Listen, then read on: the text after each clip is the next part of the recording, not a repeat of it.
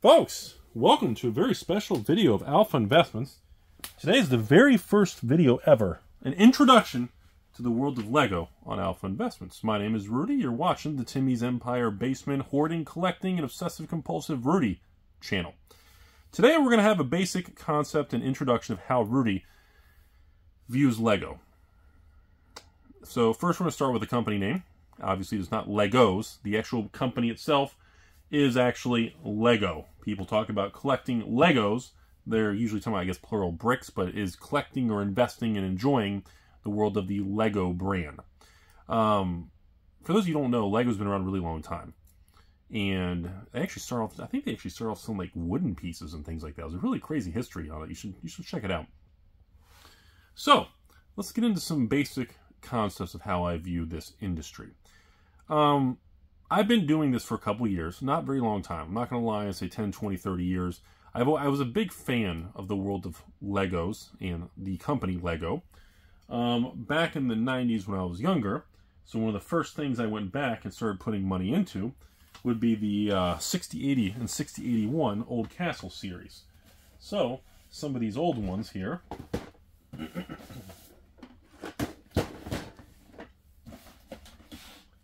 So here we have an original uh, Lego 6081 Castle Series, brand new. Uh, new in box, unopened bags, blah, blah, blah. This was where it all started with me. This was my favorite thing. It even had a castle with a trap door where you could make the ghost fall into like the dungeon and stuff like that. Um, I always loved the display and packaging of them. It always kind of did it for me. So, um, when I started to go back about a couple years ago, and I wanted to diversify and collect and expand my exposure to the world of Lego and Legos. Um, I started with the older stuff. I didn't really make a video on this concept for a long time because if you watch YouTube and you watch like eBay and the open market, a lot of these old Lego sets don't really have a lot of liquidity and they don't have a lot of supply. Like when you look at the old 6080, 6090 series of the Lego castles, trying to find unopened or factory sealed versions of these things. Some have zero for sale, and some, like here's another great one. This is the 6082. Uh, fun fact, again, we'll have more videos on this in the future. Fun fact, very old Lego sets only have four-digit serial numbers, whereas if you look at a new, you look at a new Nintendo, so if you look at the new Nintendo series, for example, this particular, oh, sorry, it's the back. If you look at the Nintendo series, as you can see, it's a 71, uh, 71 374, so it is a five-digit serials, tells you the pieces, and of course, uh, you should at least be 10 years or older, at least have 18 haircuts to build this set. So usually, this every Lego set has a serial number that identifies that particular set, and that is how the Lego company operates. So the obviously, when you see old four-digit serial numbers like this, especially, that have the old displays that will open up and give you the awesome experience. You don't have to, you don't have to take it apart. You can experience, you can see everything in the unique pieces with the certain logos and everything, certain minifigures and all this stuff. And yes, folks, Lego characters are called minifigs, or minis, or minifigures, or minifigurines. Most people in the industry talk about you have a certain rare minifig or stuff like that. Um, and like I said, on the top here, you'll usually see the names, the sets, the actual number on there, and many times the set names. Sometimes not even in English. They have different languages on there. And again, back in the day, 80s and 90s era Legos were were became huge in the United States, but they were really big overseas. Like outside the US is really where the world of Lego really became a thing. So, you know, I expanded and started buying all the Legos that I'm I'm a fan of for long term and collecting and kind of looking at as a diversifying to my portfolio. Um, I like unopened factory sealed bags, things like that. I don't like if you're going to open and build the set, buy a second one, open, build and enjoy it, keep it, display it, put it back in the box, sell it for half price because you literally paid. Let's say, for example, so if you buy this Nintendo set here, let's say I don't know what this is on. If you go to your local store, this is what 250 plus tax. So let's say this is 275 dollars. For 275 dollars, you can buy this. It's a blast to build. This thing actually moves the screen you can actually, the screen moves and you kind of simulates the Mario game. The system and everything pops out. I mean, it's a phenomenal building experience. But after that, you know, if you you can literally sell it for probably 50 cents on the dollar. So if you're into it for 275, you can probably sell it even used and just keep it all, take good pictures for probably 150 to 200 on eBay. So you can enjoy a lot of these things. And like I said, that is a really Lego, similar to Magic and CCGs, is a really therapeutic, enjoyable building experience. I've always loved it. It's it's a very I've always been a fan of the builder and I love seeing something from pieces and you can just start seeing something form. It's a very to me, again, it's a very therapeutic, very calming thing for me. I've always enjoyed it since I was a kid. So if you're looking at, well, Rudy, you know, if you only like sealed ones that aren't open, that's boring. Which one of the reasons I like the really old sets. You can open the flap and experience it. But again, if you if you really want to build a 6082, for example, the old Dragon's Den, or what's it called? Dragon's Lair? Uh, Fire-breathing Fortress. If you want to build one of these things, you know, I don't recommend spending a couple thousand dollars to get an unopened one with a gem mint cape and pieces and, you know, I wouldn't spend a couple grand to get that, this particular set. I would buy a used one on eBay for maybe 100 to 300 bucks. Buy a really nice complete one with instructions, everything, and you can still experience it and build it. That's how I recommend approaching this particular hobby, okay? So I want to get that out of the way. So if you really like something, I recommend buying more than one, keeping one sealed, and then opening, building, and keeping displaying, or putting it back and selling it to get it out of your system, build it, and also Lego is one of those things where one of the many variables that impacts the value long term, and there's about 10 different variables that calculate in this stuff, but one of them is the build experience. A set that's really enjoyable to build tends to be opened and built more, which means there's tends to be less sealed ones in existence. Now, I'm going to caution all of you. In 2023, with Lego itself being more collectible and investable and becoming more mainstream, there are just like Magic the Gathering, Wizards of the West Coast, you know, all these fancy people. They are making more different sets, more supply of the sets.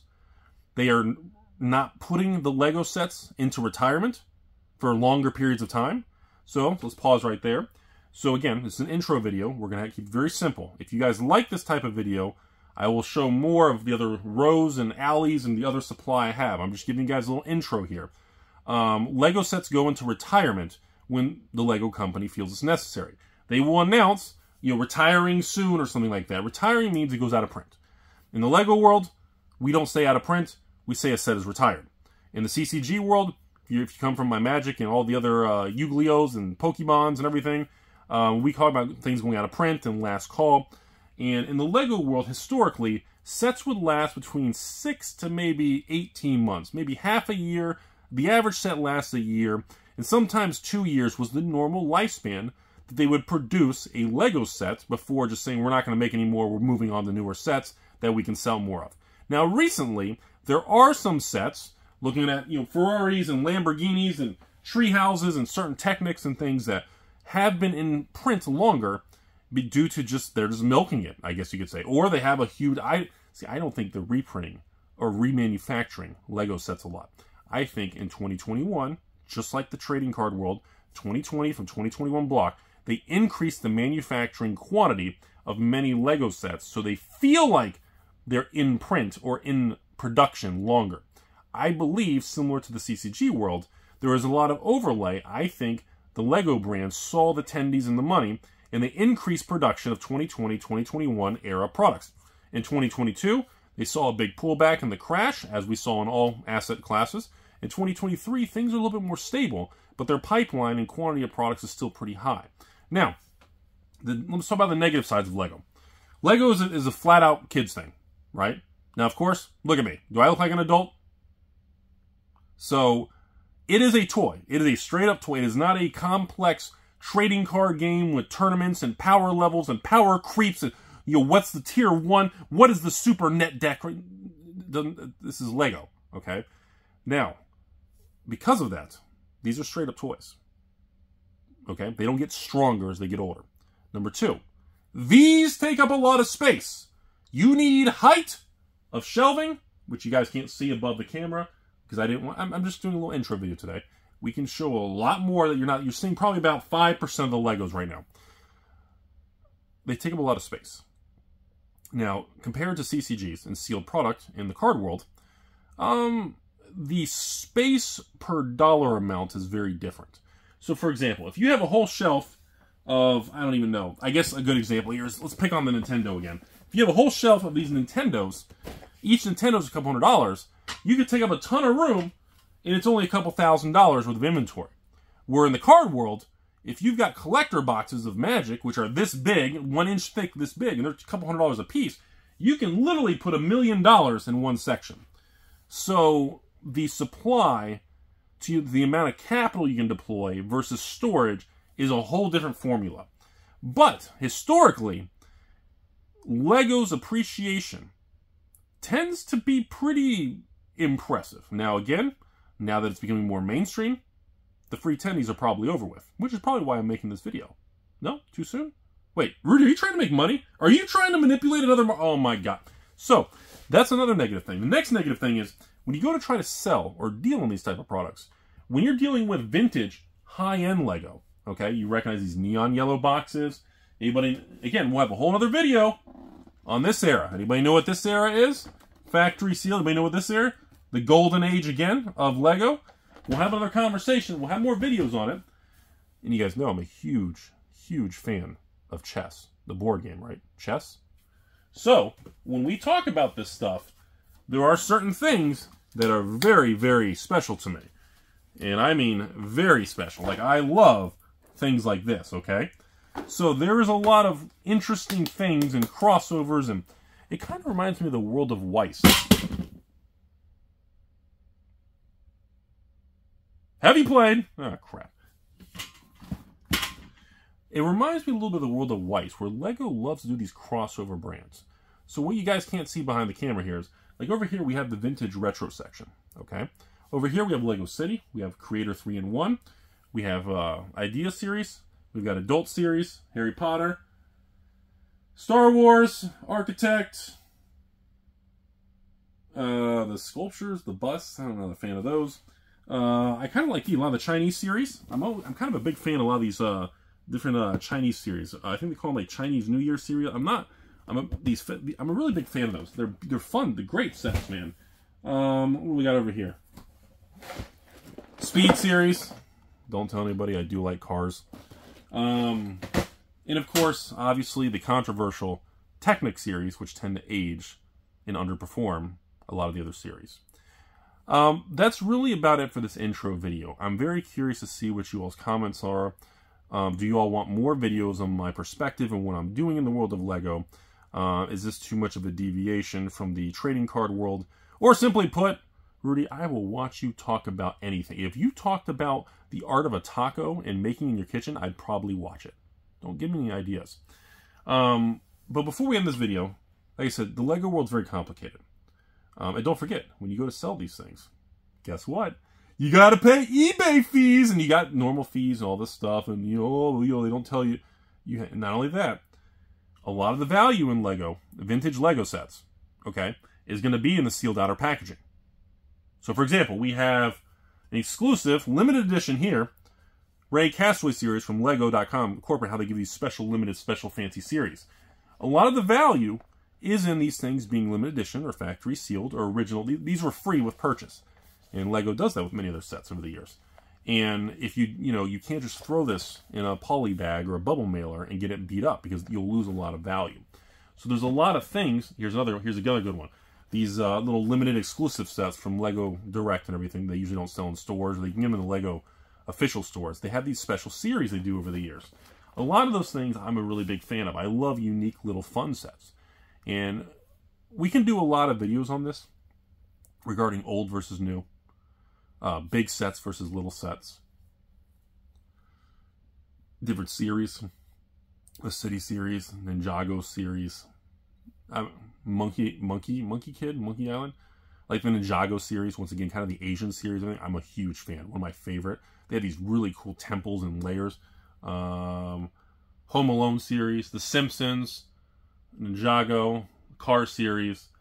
Um, but before we end the video, um, I just want to see everyone's opinion on this. Let me I want to show you a few of the big things that I'm a real big fan of here, okay?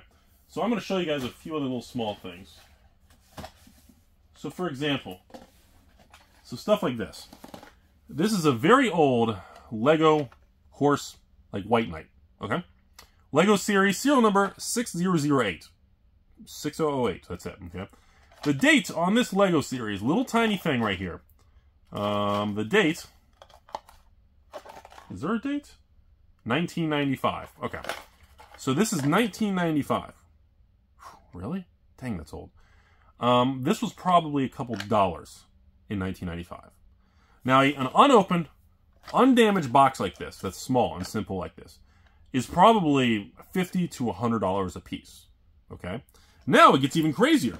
This, this is a 1995 Toyota Camry with one original owner, Batman. No, I'm kidding. This is the same thing, but this is what it looks like if you had the ability to get a factory sealed case of the White Knight horses that Toys R Us and distributors would ship these in. This is how Lego in the 90s would ship a factory sealed brick of these things. Pretty fucking awesome. Now, something like this, I've sold one of these, for example, okay? One, two, three, four, five. Yes, six of these in here. So, like, for example, I sold one of these six months ago to a, a local private friend of mine, blah, blah, blah, who's a big investor collector. And something like this would be 500 to a 1,000, like almost, I, I probably wouldn't sell another one of these unless somebody was willing to pay over a $1,000 for this. Yeah, you heard me. For six little horses that were a couple dollars a piece. So these were probably on clearance for years ago for maybe $2. So for $12 for the horses, I wouldn't sell, I've only got two of these left or three of these left. Like I wouldn't sell this unless somebody was dumb enough to pay like one to two thousand dollars, because I don't know how many are even left in existence. It, I mean, going on eBay and just looking at a single Lego 6008 factory sealed new, I don't even know if there's 10 of these on the open market right now. So the amount of these that are left in case form is just mind numbing. So it's just a good example I really wanted to uh, share with you guys. I don't know how much of a fan you guys are. And again, it gets to other things. Here you go. Here's a great example. Here's another one. 6031. This is a really cool. This is the Black Knight series with like a wizard from another, the Castle era. Okay. And this one actually has a Walmart clearance sticker from $10 to $5 to $4. And I actually left the sticker. I mean, I can mineral spirits and nail polish remove. I can remove the sticker without damage, but I think the sticker adds, I just, it adds provenance. It's just so cool to know that. So there's a lot of things like that. Here's another one, old sticker on it. Lego set, 6105. Black Knight with the guys with the swords and crossbows. Fucking awesome. I'm a little kid. And again, clearance, low price. A clearance on April of 2003 for $4. Like something like this, I would say this is probably going to be on the low side, maybe 50 to $100. Factory sealed 6105. This is probably a couple hundred dollars for something that was a couple dollars. So we have a lot of things in the open market that are very fascinating. So I'm gonna I'm gonna stop rambling here. This is supposed to be an intro video. I don't I could spend all day. There are insane amounts that you guys can't see above and below. Um, oh, I love these, man. Dude, these were so cool, man. Anybody remember like these Hawaiian I the Islander series? 62 62, man.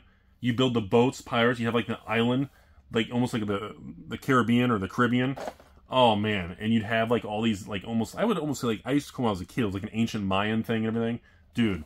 It has like the maps and dude. When I was a kid with like the Goonies and stuff, dude, this Lego stuff, I was all about it, man. Sorry, you know, I can go on and on. There's I could be here all night. This is an intro video. I hope you guys enjoyed it. Um, I've been wanting to do a Lego video for a very, very long time.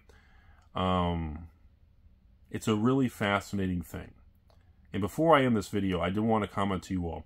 I know I just kind of focus a little bit on showing you guys some old stuff, but I want you all to understand that there is a lot of money in new Lego. Okay? Don't think you have to be in the 20, 30 year old Rudy, you know, high baller rolling. No, no, no. There's, there's, uh, what's a good example? I want to give you guys a good example. I don't know. I don't have a good example. We'll have to do another video. there's a lot of, especially like the new Star Wars, Batman's, and honestly, I'm not personally a huge Disney fan. I'm not personally a huge. Um, there's also the uh, the Chick series, the um, the, for the girls, the uh, the Lego Friends series, like purple boxes and cute stuff. But there's a lot of money, and I have a pretty big position in the Lego Disney, in the Lego Friends series. It's kind of what I call kind of the chick flick kind of things, but some of the series are kind of fucking cool. I just don't say anything to you all, but not many of you all are watching this late. But there's a lot of opportunity in all of them. Even if you're not like I'm not a huge Minecraft fan, okay? But some of the Minecraft series is very sought after. And as they get older, some of the older versions of Lego sets from Minecraft are going to be a big deal. Same thing with Harry Potter, Batman, certain movies. Uh, I think what Avatars and Avengers or Spider Mans and yeah, there's a ton of different crossover. I think there was like Marvel series. I think there's a lot of Marvel like Avengers, uh, Overwatch, Eternals. Um, there's a lot of different sub series, and just in, in, just like we talk about in the card world, and just like we talk about in the art, the oil painting world, in in the luxury watch world, the graded video games. Uh, just because you're not a fan of certain things doesn't mean you don't need to learn and under and just respect that particular market. And that's something that took me when I was younger. I was very, I don't like that. But as I'm older, you know, just because I don't like, I'm not. It's not my favorite. Like I love the chess series and the, you know, doesn't mean there's not opportunities in it. Um, oh, I gotta show you guys this. Hold on. I promise on the video. The Ninjago 71 741 Pro. You guys gotta see this thing. Dude, fucking amazing, man. You build like this crazy dude, it's it's amazing. Sorry. Lego series uh yeah, 71 741. It's just super cool. Alright folks, that's my intro to Legos. Hope you all enjoyed it. If you like this kind of thing, I will do try to do some more Lego videos like once a month or something. I'm not going to be able to get over to this location as frequently. And again, but when I am over here, I want to share them and discuss kind of the knowledge and the market and everything. There's so much to discuss. There's so many things you could really go over. Oh, yeah, here you go. Here. Overwatch. Not an Overwatch fan. But we have a factory sealed Overwatch set. Uh, Lego set number 75 976. What year is this? 2019. So this is only four years old. And I bet this $30, $40 set, factory sealed, is probably not $30 anymore. How many pieces? Two. This is probably a $20, $30 set in 2019. I bet it's nowhere near $20, $30. Anyways, folks, if you like this kind of thing, give me some feedback below. Do you want me to discuss the market of Lego more? More the new Lego sets? Do you want me to go into more vintage stuff? Do you want me to go into like kind of the market, the people that are involved, who's buying this, what kind of rich Rudies are out there, and give me give me some feedback below if you guys like this stuff or if you want me to hone in on a certain subsection of the Lego market, like a certain Lego series or a certain Lego era. Or um, again, we could have a whole channel devoted to just Legos. Okay, and again, I've thought about that in the past, but you know, having a Lego channel, having a card channel, maybe a a, a grading channel, um, you know, a video game, and you know, I've thought I don't have time. You know, the original channel got so big the Patreons and supporters from you all got so massive, the amount of card games and things just got crazy. But, you know, years ago, the original idea was to have like five or six different branded alpha investment channels for each type of category. But, of course, the original alpha investments took off so much, and you all have been so kind to me and supporting over the years and all the fun things we've done in the card world, you know, I never really shared with you all a lot of other things. So, thanks for watching. Um, very curious to see the Lego uh, comments below. Uh, if you don't have anything to say, let me know you actually watched this to the end. Give me a hashtag like Rudy's Hairy Lego or something. Give, give me a comment. I'm curious who actually watched the Lego video to the end. Have a beautiful day. Here's my penis.